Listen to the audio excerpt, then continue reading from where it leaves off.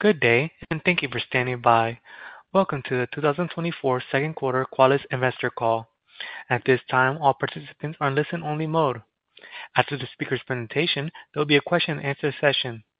To ask a question during the session, you'll need to press star one one on your telephone. You'll then hear an automated message advising your hand is raised. To withdraw your question, please press star one one again. Please be advised that today's conference is being recorded. I'll now like to hand the conference over to your first speaker today, Blair King, Investor Relations. Please go ahead. Thank you, Marvin. Good afternoon, and welcome to Qualys' second quarter 2024 earnings call. Joining me today to discuss our results are Sumedh Thakar, our President and CEO, and Joo Mi Kim, our CFO. Before we get started, I'd like to remind you that our remarks today will include forward-looking statements that generally relate to future events or future financial or operating performance. Actual results may differ materially from these statements. Factors that could cause results to differ materially are set forth in today's press release and our filings with the SEC, including our latest Form 10-Q and 10-K. Any forward-looking statements that we make on this call are based on assumptions as of today, and we uh, undertake no obligation to update these statements as a result of new information or future events. During this call, we will present both GAAP and non-GAAP financial measures. Reconciliation of GAAP to non-GAAP measures is included in today's earnings press release. And as a reminder, the press release, prepared remarks, and investor presentation are all available on the investor relations website. With that, I'd like to turn it over to Sumedh. Thank you, Blair, and welcome to our second quarter earnings call. In Q2, we witnessed organizations increasingly optimize spend within an already tight IT spending environment. Given this dynamic, organizations are standardizing on trusted platforms to consolidate security stacks, leverage automation, and achieve expedient remediation of risk. Qualys has a unique, organically built platform to address this need. Nevertheless, crisp execution is required to fully capitalize on this opportunity. While we have made meaningful progress on several fronts, including growing our sales and marketing team, building momentum with partners, and growing our new business, we have work to do in addressing our upsell execution in the current environment, which resulted in lower than expected bookings growth this quarter. With the upcoming departure of our Chief Product Officer later this month, I plan to directly oversee the product and marketing teams to position us for forward success. I am confident in our ability to re-accelerate growth in the long term, with sharpened execution on product-led growth and improved alignment between our product messaging and marketing activities to drive operational efficiencies in our go-to-market motion. At this time, I'd like to thank Pinkesh Shah, our Chief Product Officer, for his contribution during his tenure at Qualys. Although Q2 was a challenging upsell quarter for us, which continued uh, with continued increase in deal scrutiny, we are fortunate that many of our customers have already begun a long-term transformation journey with us. Through the conversations I've had with many CISOs over the past several quarters, their message is clear: They are looking to pivot to a natively integrated risk management solution. In the face of sluggish macro, escalating threat environment, and cybersecurity skill gap, organizations need to reduce complexity and cost while presenting measurable risk reduction initiatives to boards and C-level executives. Against this backdrop, Q2 was another quarter of rapid innovation for Qualys, reflecting on our ongoing commitment to technology leadership and customer success. Qualys' mission has been to bring innovative new security solutions to market, fueled by customer insights. As a result, we have established a strong track record of converting operational challenges into structural competitive advantages while maximizing lifetime value, ensuring frictionless outcome at scale, and driving immediate ROI on security spend. For example, Qualys pioneered a patching category for security teams. Building on this success, we commenced development of our TruRisk Eliminate capability several quarters ago. I am now pleased to announce that some of these increasingly popular solutions amongst our beta customers will soon enable organizations to respond to zero-day threats and mitigate top exploitable vulnerabilities, even when a patch is non-existent or cannot be deployed. This new subset of our broader TruRisk Eliminate roadmap, which we call TruRisk Mitigate and TruRisk Isolate, empower security teams to apply fixable, automated, and intelligent risk-based response solutions to address cybersecurity risk based on an organization's own unique operational characteristics, remediation timelines, and business objectives. With these new capabilities soon going GA, strong customer support, and over 45 million patches deployed year to date on Qualys agents, we are increasingly confident that we are once again transforming our customer security operations while further magnifying our competitive differentiation in the market. Continuing our innovation to help our customers address risks coming from the use of latest technologies like AI LLM, we are pleased to announce our newest capability, which we call Qualys TotalAI. As organizations rapidly deploy AI LLM technologies, the security teams are looking for help to quickly find and comprehensively assess vulnerabilities in these models. With seamless AI security posture management integration, these new adaptive capabilities discover AI LLM usage within customers' environment, scan for vulnerabilities, and prevent data leakage for comprehensive risk assessment, prioritization, and remediation across the entire attack surface with a single click of a button. In addition, we are pleased to announce an extension to our TotalCloud CNAPP platform, which now discovers and assesses the risk of all known and unknown in-use Kubernetes container images. Leveraging our own AI and ML technology, we are establishing a baseline for normal behavior for each host container, serverless function, and other objects. Now, through real-time observation of file system processes and network activity, our newest runtime security tools provide organizations with a predictive and threat-based protection to actively detect anomalous activities, uh, prevent zero-day attacks, automate response, and help ensure PCI 4.0 compliance in both containerized and legacy environments. These new container runtime insights, combined with toxic risk factors within a unified actionable dashboard, allow for immediate threat qualification, prioritization, and remediation from code to cluster. We believe this new capability uniquely sets us apart to enable secure and compliant cloud consumption at scale. Turning to our federal agenda, we recently reduced FedRAMP Moderate certification for our TotalCloud CNAPP and EDR solutions, marking another key milestone for the company. We continue to expect our pending FedRAMP High certification for several key applications later this year, making Qualys the only modern alternative to legacy on-prem scanners for federal, state, and local government agencies at the high impact level. Our investments to establish a public sector presence are starting to yield results, supporting our confidence to address this new vertical and drive incremental growth in the business over time. Finally, with respect to our upcoming Enterprise TruRisk Management solution, we maintain we remain on track for GA later this year. This extension to our platform is currently in private beta with select few design partners. The ability to bring first and third-party data into our platform to holistically detect, quantify, prioritize, and remediate vulnerabilities with automated workflows on a unified dashboard across on-prem, cloud, and multi-cloud environments is evolving into the go-to risk management solution for enterprises, especially with the context of in the context of a tight spending environment. The early customer feedback we are receiving is very positive, and it's great to see CISOs from around the world actively attend and engage in the many many risk quantification workshops we have been conducting over the past several months.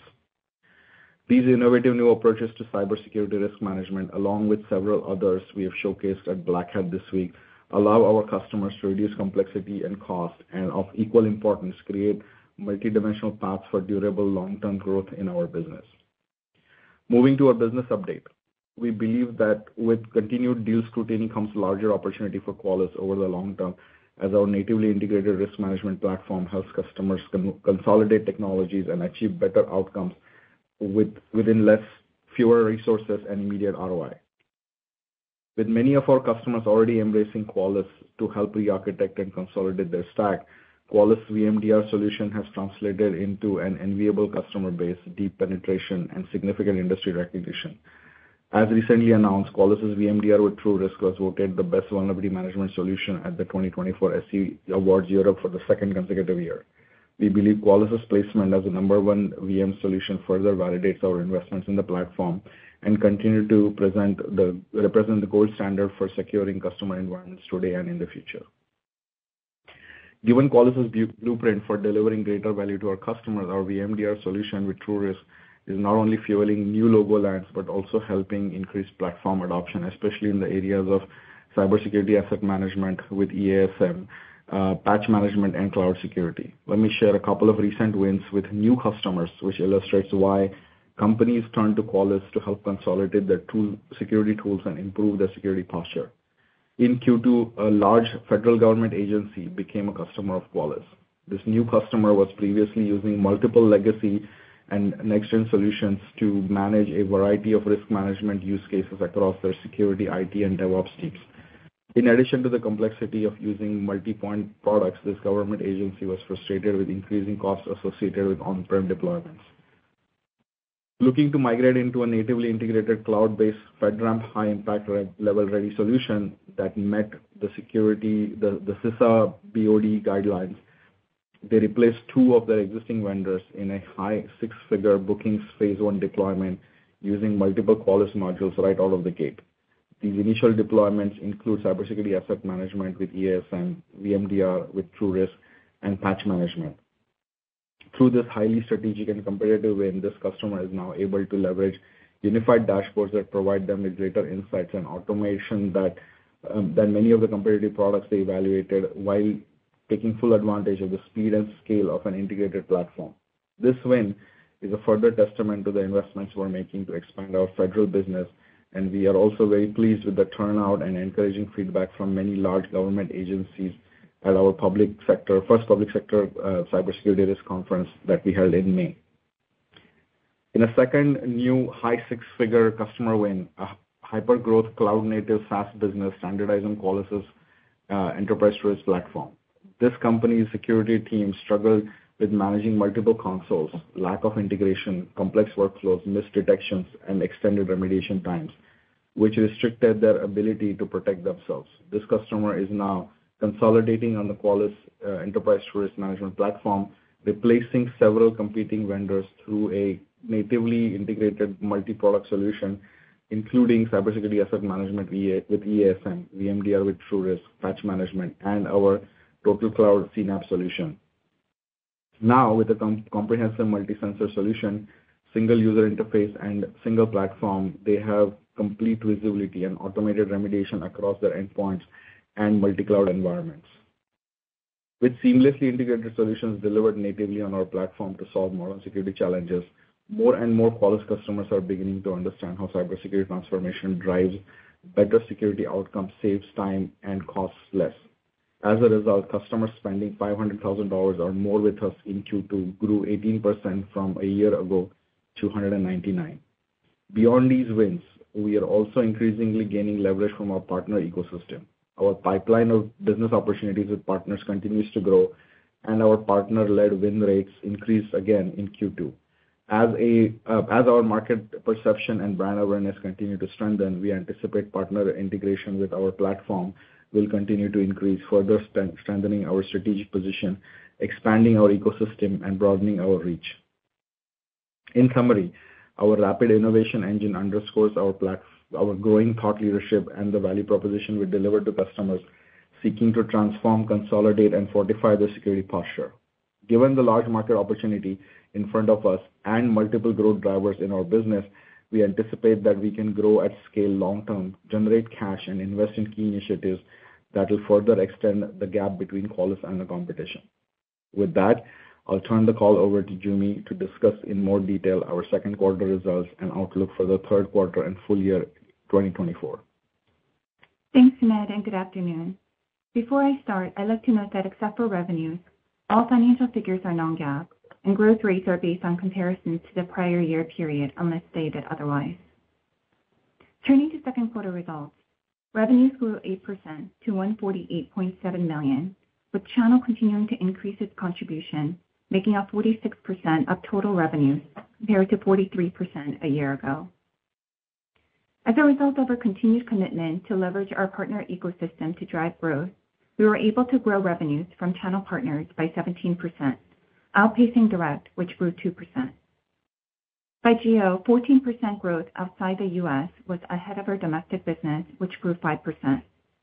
U.S. and international revenue mix was 58% and 42%, respectively. As for calculated current billing, we would like to note that our Q2 calculated current billing were negatively impacted by the sunset of our embedded solution for Microsoft Defender as of May 1st. Earlier this year, we announced that we will be retiring our integration on Microsoft Defender and transitioning to BYOL model.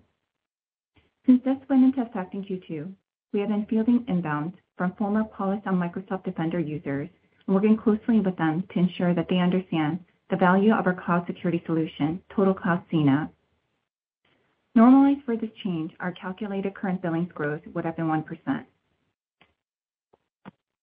In Q2, with a continued challenging spend environment resulting in lower performance and upsell, our net dollar expansion rate declined to 102% from 104% last quarter.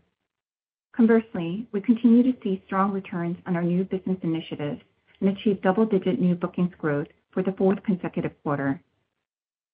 With this momentum and new customer bookings growth, we believe we're building a stronger foundation to drive expansion and share gains over time. In terms of product contribution to bookings, Patch Management and Cybersecurity Asset Management combined made up 13% of LTM bookings and 22% of LTM new bookings in Q2. Cloud Security Solutions, TotalCloud CNAPP made up 4% of LTM bookings. Turning to profitability, reflecting our scalable and sustainable business model, adjusted EBITDA in Q2 was $69.9 million, representing a 47% margin compared to a 48% margin a year ago. Operating expenses in Q2 increased by 10% to 59 million, primarily driven by a 22% increase in sales and marketing investments aimed at capturing the market opportunities in front of us. As we continue to increase our investment intensity and focus on sales and marketing enablement, customer success, and productivity, we believe we will be able to drive wallet share and long-term returns.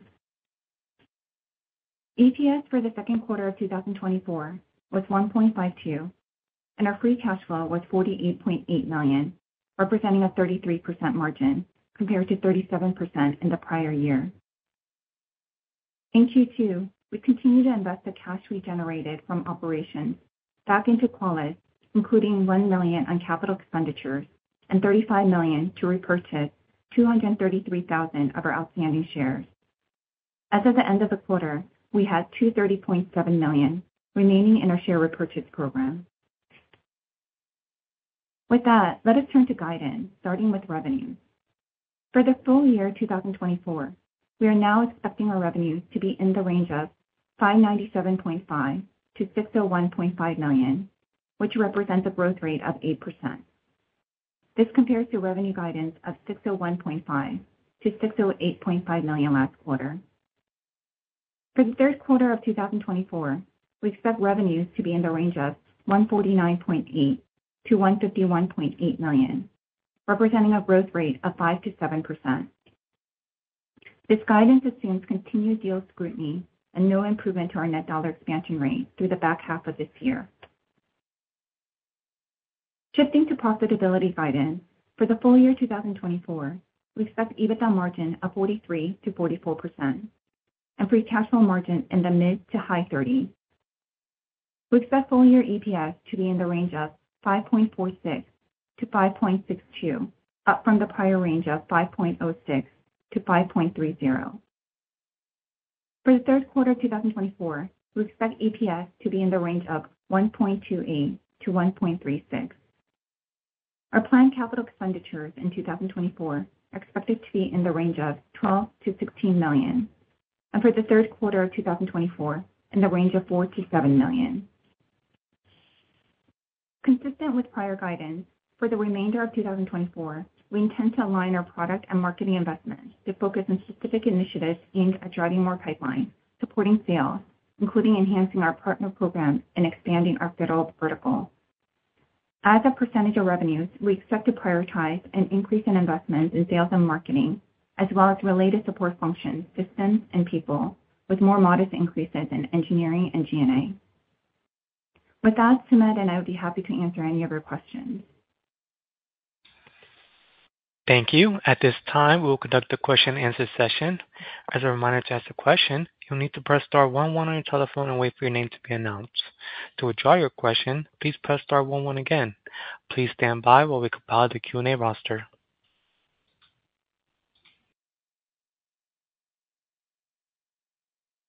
Our first question comes from the line of Joel Fishbein of Truist. Your line is now open. Hey, thank you very much for taking the question and uh, congrats. Um, Joo Mi, um, really great growth internationally, and I guess Sumedh as well. Can you talk about, you know, what drove the international growth? Um, and then maybe, Joo Mi, if you could talk about more specifics about some of the investments that you're making in sales and marketing going forward, that would be very helpful. Thank you so much. Yeah, happy to. The international growth, we're seeing a stronger demand in that region relative to the U.S. With that said, the U.S. growth rate is impacted by the Microsoft Defender, um, and so that's been a headwind on the U.S. business as well as the direct business that we just share the growth rate for. Um, in terms of the sales and marketing investment, that we feel like it has been doing really well, and the higher return on ROI is from the investment that we made on the partner side. As you can tell, our initiatives when it comes to enhancing our partner relationships and really working with them to um, revamp how we go to market and further incentivize our partners to understand why it makes sense for them to propose and put Qualys as a vendor of choice, has been resonating. And so for us, it's number one, partner, and then number two, of course, um, primarily our investment has to is related to the headcount. So as we're targeting, continuing to grow the sales and marketing headcount by double digits in 2024, and we are on track to um, meet that goal, um, we're we're positive with the momentum that we're seeing in the business today. Yeah, and Joel, I'll add to that is, you know, while we had a tough uh, upsell quarter uh, for Q2, uh, I think our investments that we've been making in the last few quarters have really, you know, given us Uh, a lot of positive things that we're uh, excited about. As an example, with our new business growing double digits because of um, the way that we're enabling our uh, new business sales team, because of the way, as Joo Mi said, we're investing with our partners, and the partners pipeline is increasing. Their win rates with our partners are increasing as well. And pretty excited about our investment that we started last year in the federal space, which again Uh, getting a six-figure new net new business deal in the federal uh, space for us is exciting.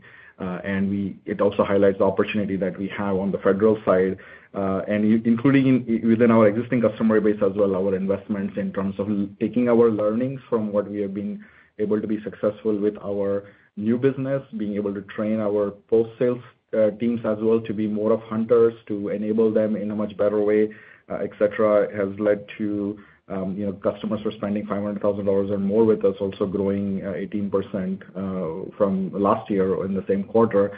Uh, so those are, you know, a lot of the things that our investments are leading to positive trends. I think clearly we see an opportunity in this macro environment that we have and the scrutiny that we face from our customers with VM to really be able to get our sales team to Uh, our product and marketing teams to align better and our sales team to execute better on the upsell opportunities that will come with the new uh, way the customers are looking at uh, their security spend and focusing on risk management. And really, you know, being able to spend their money from cybersecurity where the risk is. And that's the big question a lot of people are not quite able to answer, is where is your risk exactly?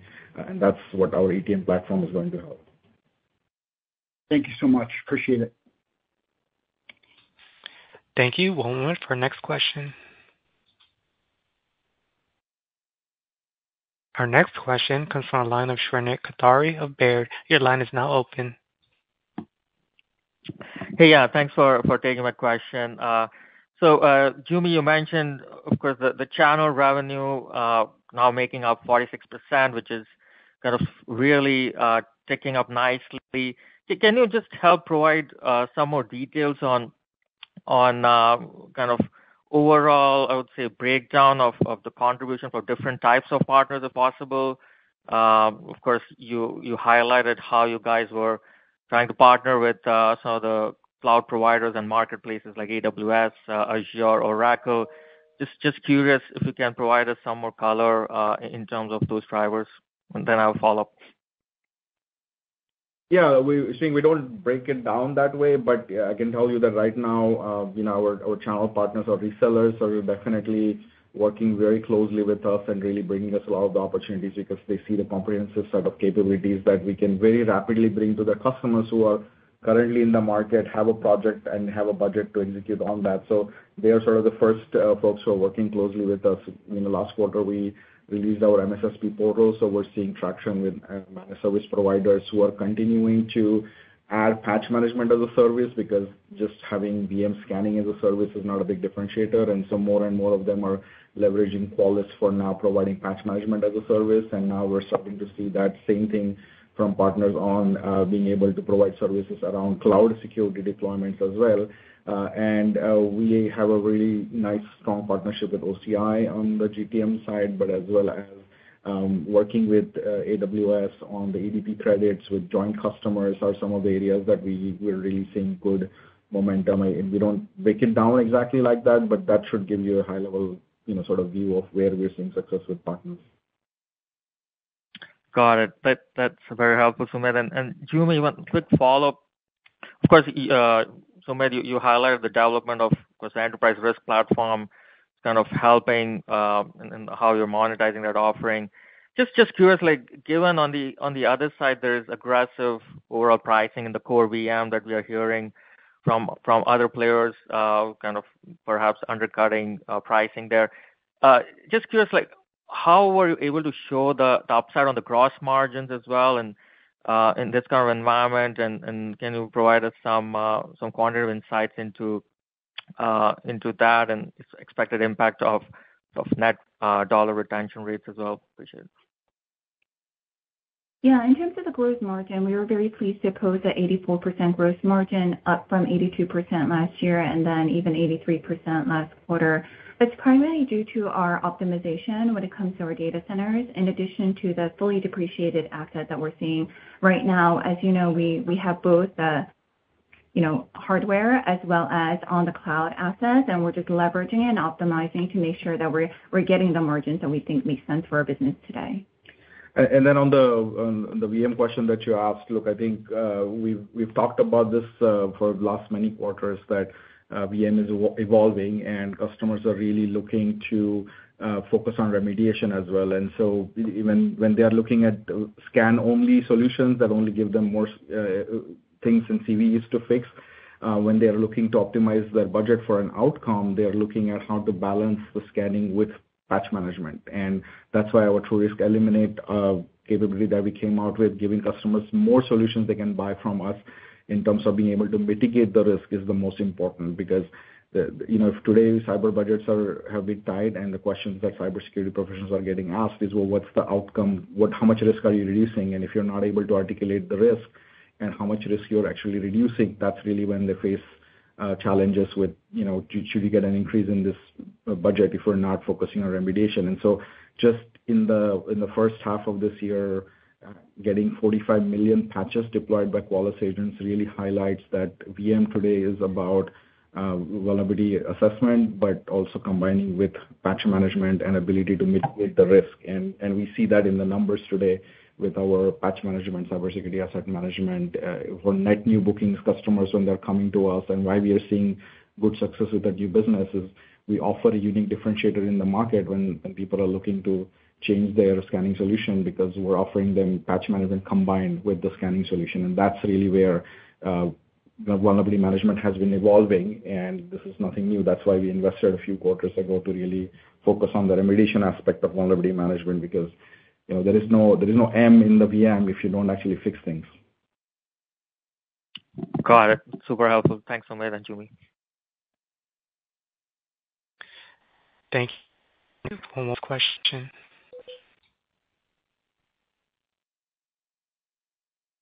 Our next question comes from the line of Matt Hedberg of RBC. Your line is now open.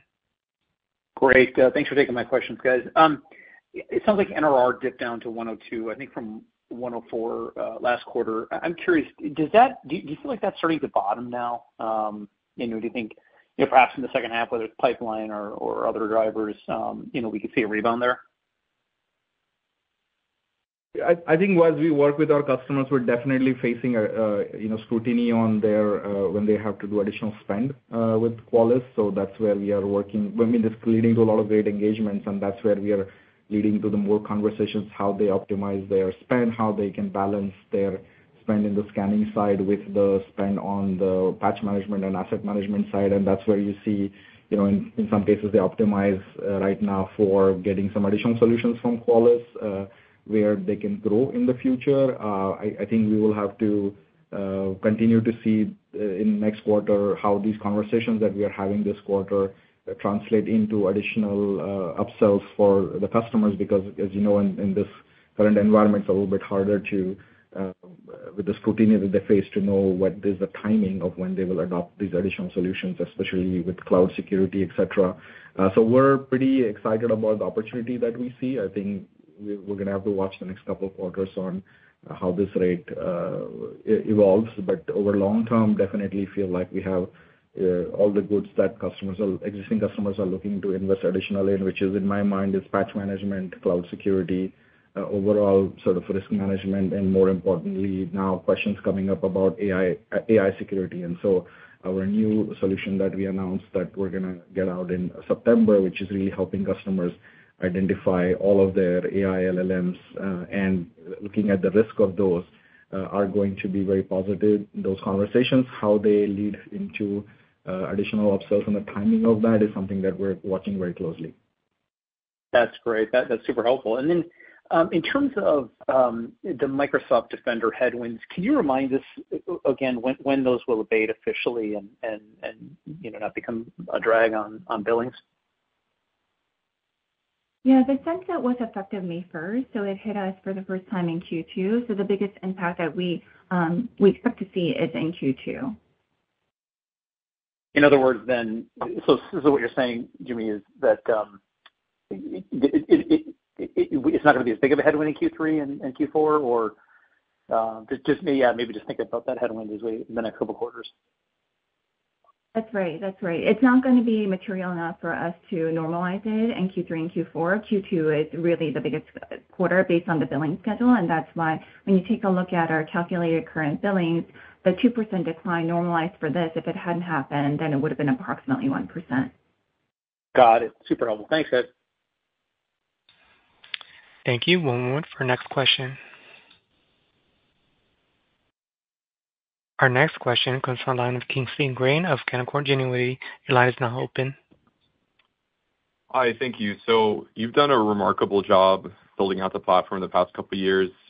Uh, I just want to ask broadly, how would you describe VM demand at the moment? How cyclical is this? How secular is this? And then why do you view VM foundational? And then how can you leverage that to expand spend within existing customers? Thanks.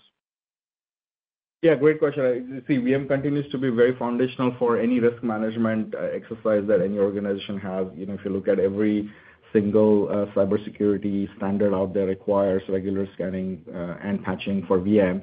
I think as we have talked about, and I have talked about this in a few earnings calls in the past as well, is that VM is evolving. And so the while the overall focus for customers remains on VM, The within VM, it's really customers are focusing on how do we get an outcome of actually being able to reduce the risk by fixing the things that are being discovered by VM. And so uh, what we see with our customer base is that uh, they are, with the tight budgets that they have and the scrutiny that they're putting on the conversations, they are actually looking to balance between uh, how much they focus on scanning and what's the point of scanning everything if they're not able to actually remediate stuff. And so how do they balance their investment in the VM sector between scanning and patch management and also asset management, as well as how do you expand the scanning into the cloud environment? And so those are the conversations that we hear a lot more. I think the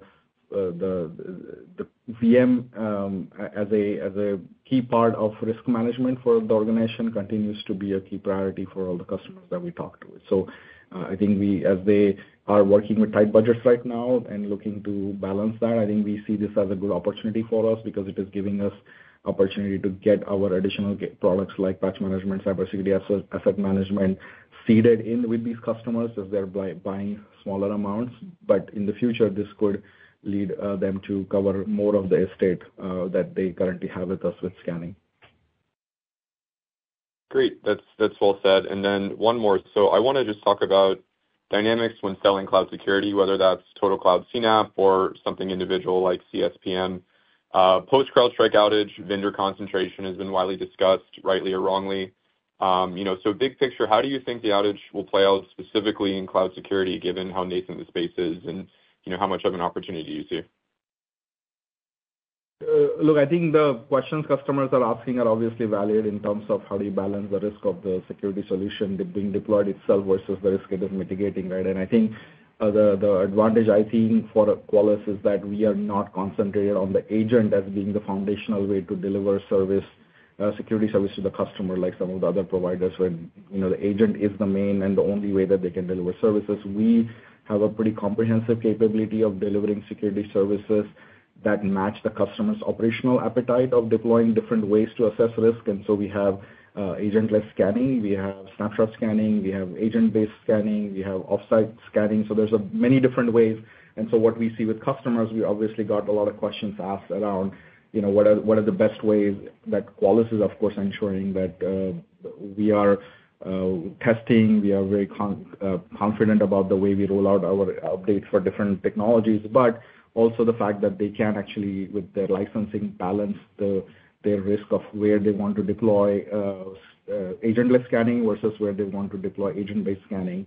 Uh, and we give those options to them, which they are pretty happy about, that they don't have to really take that big risk of only having an agent, and that's the only way to deliver the service. And so in cloud, I think the advantage uh, is that you can do a good amount of assessment with CSPM just using APIs without deploying um, a particular way of scanning. And so that we this is why about a year ago, when we released our FlexScan, which is a part of our uh, TotalCloud CNAPP solution, the license actually includes the ability for the customers to do four types of different scans on the same asset, and they can pick and choose. So if they want, they can do an API assessment with absolutely nothing installed on the workload. They can use an um, agent to be installed automatically. They can use an automatic network scanner Uh, in that environment, uh, or they can use uh, a snapshot scan of an image that is not actually live. So I do see that in cloud security, while the questions will come up, it's not so much about, in my mind, the vendor concentration. It's really about the the sensor concentration in my mind, which is: Is your vendor providing you multiple different ways to assess your environment in leveraging basically the the different types of risk profile that you might have on different assets? Right. Agreed with that. Um, thanks again, and congrats. Of course. Thank you. One moment for our next question.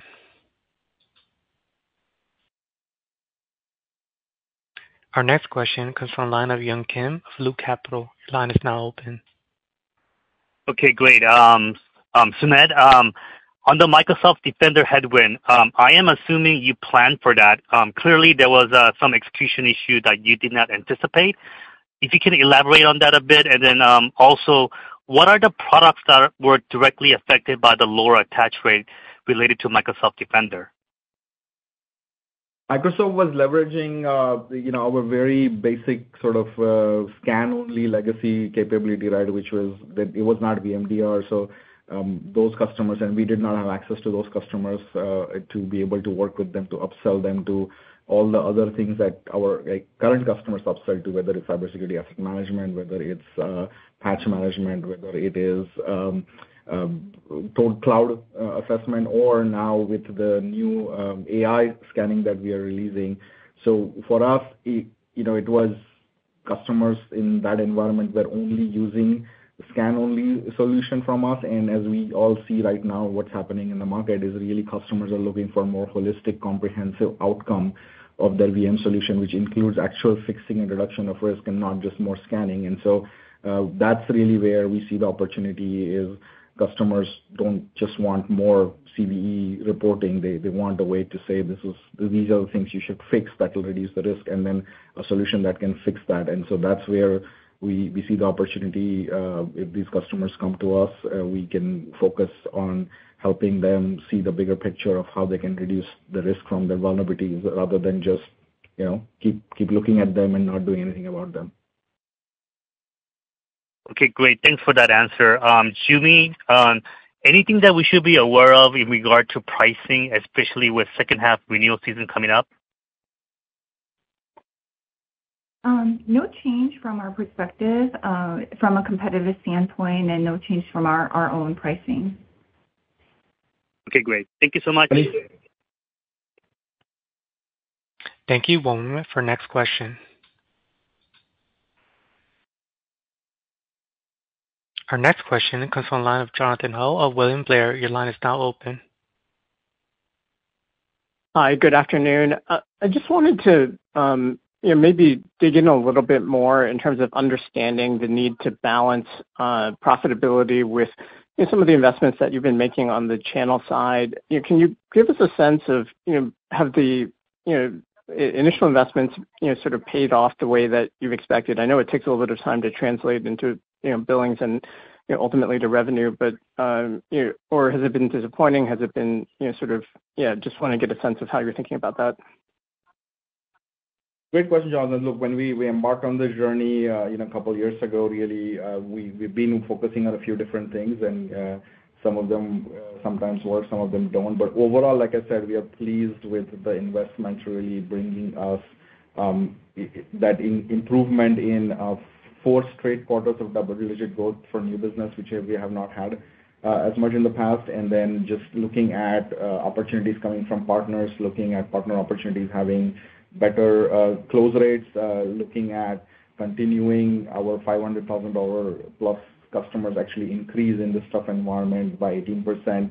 Uh, so I do think that different things that we have done in terms of training our new business sales reps, in terms of investments in channel, have brought us those sort of opportunities. And now, in the further quarters, we need to focus on working through those opportunities, closing through those opportunities, continuing to invest uh, additionally with our channel partners. But like we said, we are in a fairly um, unique position this year to continue to actually invest in our sales and marketing GTM because we see the opportunity when most of the companies are really cutting down on their sales marketing investment. And I think that's really what we look for in the further quarters is to improvements in our Uh, upsell rates, similar to what we are seeing with our new business, and um, you know, really continuing our investment on the federal side. Like I said, just getting um, a good six-figure deal in the federal net new business deal on the federal side uh, is also very uh, promising for us because of the investments we're making with the team that we have built, the the marketing investment we made this year to actually host a Um, um, conference just specifically for federal, which is our first one, and also the investment we have made in being FedRAMP moderate. But more importantly, we're just uh, you know, really, really anticipating and waiting for the FedRAMP High certification, which we are looking forward to getting end of this year. And I think that investment over the next couple of years should give us really significant advantage uh, because there's no other FedRAMP High platform that has so many, so many different capabilities and modules that go in uh, together with that. And so I think there are certain um, you know, these are some of the things that have worked and continue to work. And we're looking now to to take the learnings from the new business improvements and apply those to our existing business so that our you know, post-sales uh, uh, farmers uh, learn how to do a little bit of hunting and be able to find some of these deals in a tough macro environment and and be able to bring additional opportunities by working closely with the partner side on the upsell, just as the way we are working on the partner with the partners on the new business as well.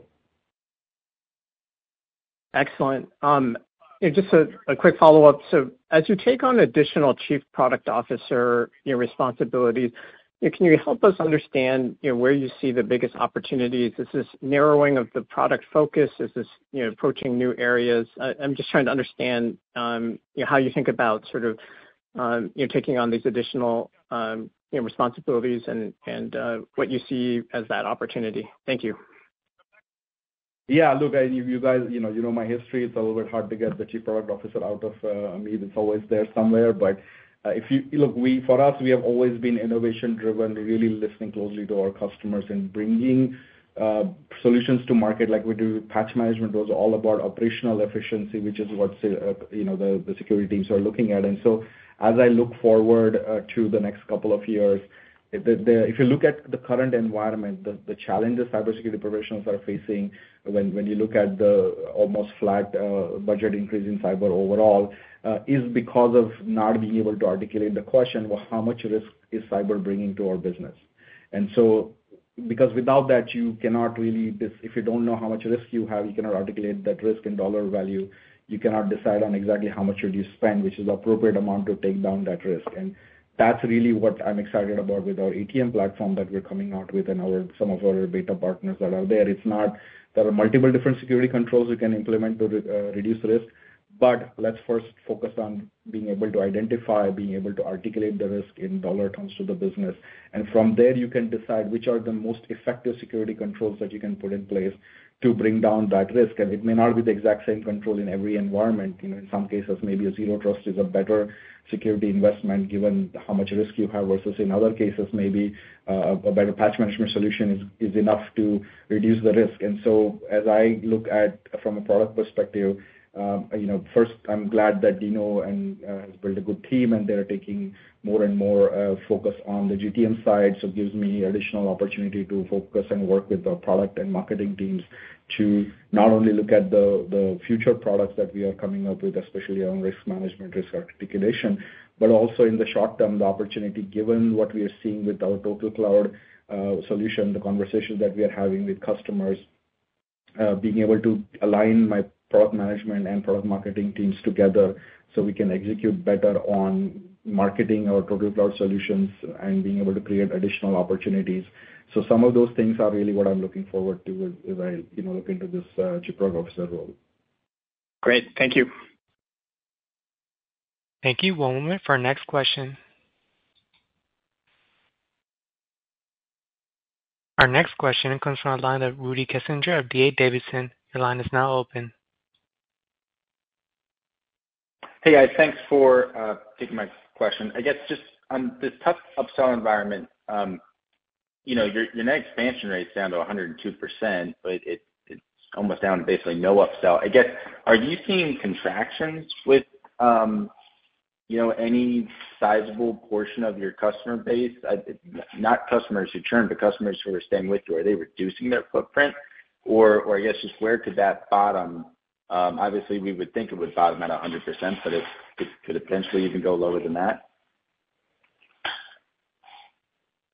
Great question, Rudy. So as we mentioned, overall, our gross retention has stayed the same around 90%. And so I think for us, it's really about customers, as I mentioned earlier, are looking to balance uh, the set of solutions that they have from Qualys, looking at how can they have a better impact by adopting additional solutions uh, from Qualys like Patch Management, cybersecurity asset management. And sometimes, based on you know, they may decide that this particular environment, I would rather uh, take those licenses and focus more on Patch Management in my server environment because currently the budgets are tight.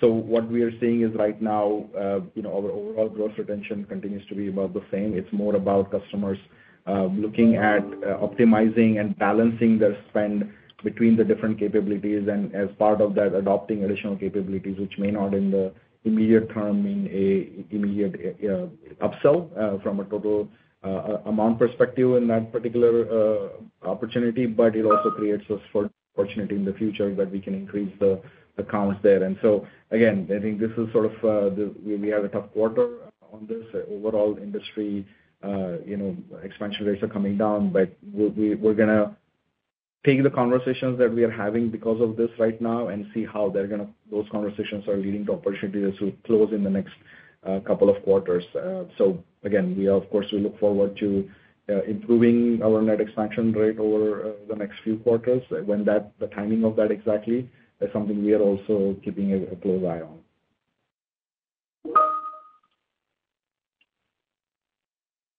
Thank you. One moment for our next question.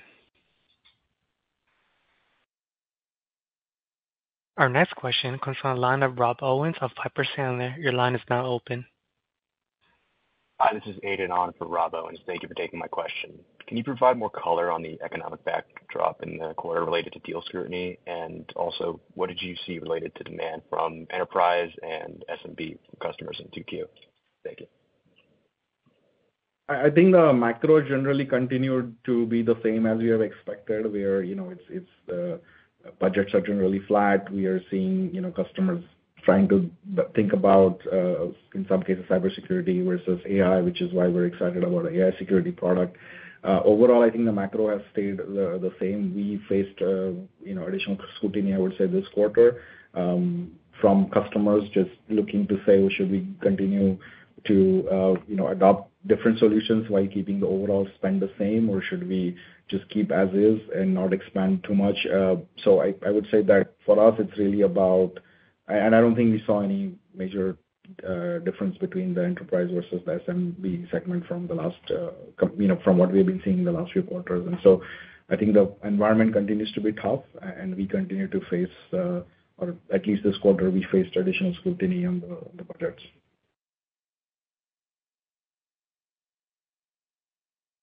Thank you. One moment for our next question.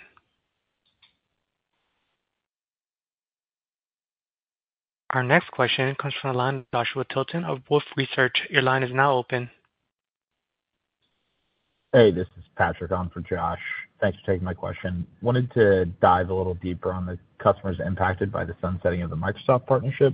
You mentioned that you were having conversations with those customers throughout the quarter. So can you just talk about your updated expectations those customers moving over to Qualys to use your solutions directly? And then also, what does the size of that opportunity look like?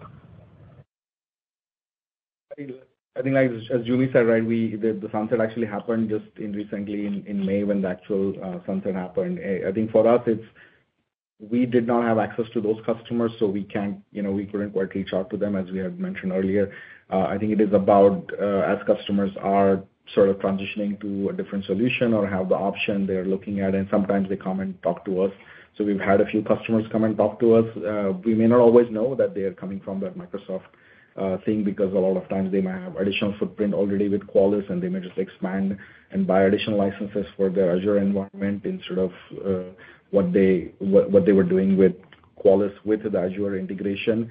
Um, I don't think at this point we're thinking of that opportunity as anything that from what we see as a material uh, thing in Q3, Q4. I think we'll continue to see how the conversations evolve and see how many of those actually continue to come to us, but we're not assuming any any additional benefit in the guidance that we've given from from coming from that opportunity.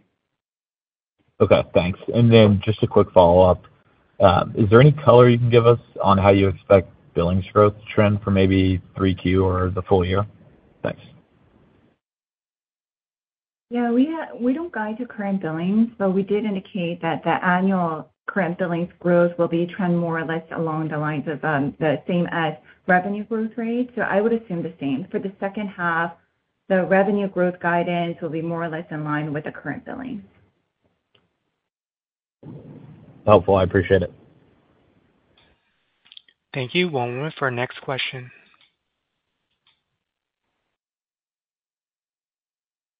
Our next question comes from the line of Brian Essex of JPMorgan. Your line is now open.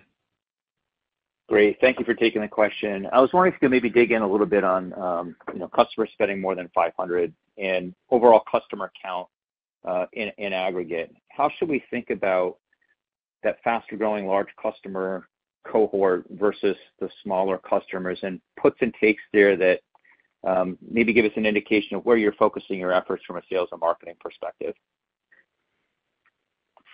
For the sales and marketing perspective, we are focused more on the enterprise, It's just because that's where we've seen more success. And as you can tell by our larger customers who continue to increase their spend with us, um, and we've seen success there, we are have we are continuing to see some headwinds on the smaller end, the smaller customers or the SME and SMB space. In those 500+ customers, is that revenue from those customers that are growing 18%, or is it the customer count that's growing 18%? The customer count and the dollar amount uh, are growing both at 18%, actually. So the 18% that we referenced is the customer count, but the dollar amount is about the same. Got it. That's helpful. Thank you. Thank you. One moment for our next question. Our next question comes from the line of Hamza Fodderwala of Morgan Stanley. Your line is now open. Hi, thank you for uh, fitting me in back here. Uh, uh, apologies if this was hit on earlier, but um, the- Sorry, Hamza, we're having a hard time hearing you. Hi, can you hear me better? Breaking up, your audio. Let's try again. Um, Probably. But uh, um, just a question on the uh the current billings um, for Joo Mi. I think uh, so down 2% this quarter. Uh I believe you mentioned the Microsoft headwind. Without that, it would have been up 1%. Anything else that I'm missing? if you could give the Microsoft customer relationship, you know, obviously, Microsoft was a partner as well as a customer. Any any changes in conversation? We couldn't quite hear the last part. Can you repeat the last part about the customer relationship? Microsoft? Um, if Microsoft remains a customer, any changes in conversation there? No, no change. No change. So it's as expected um, with respect to uh, the impact on our top line from both Microsoft Azure and Microsoft customer for this year. Okay. Thank you. Thank you. I'm showing no further questions at this time. Thank you for your participation in today's conference. This does conclude the program. You may now disconnect. Goodbye.